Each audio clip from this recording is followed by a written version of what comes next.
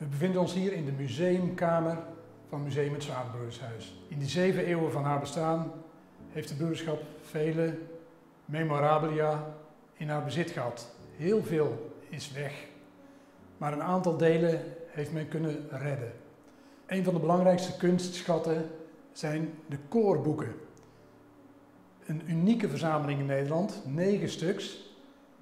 Twee daarvan zijn gedrukt door Plantijn uit Antwerpen.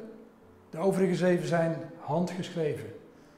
Dat zijn boeken waarin muziekstukken zijn verzameld in de 15e, 16e, 17e eeuw.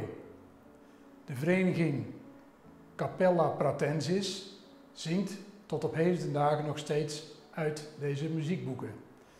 Wat hier ook te zien is, zijn 18 tinnen drinkbekers uit de tijd, uit de 15e, 16e eeuw, dat alle gezworen broeders hun eigen pint gebruikten. Hun wijnpint, bierpint. Tinnen drinkbekers die in Den bos gegoten werden. De meest bekende beker is die van Willem van Oranje.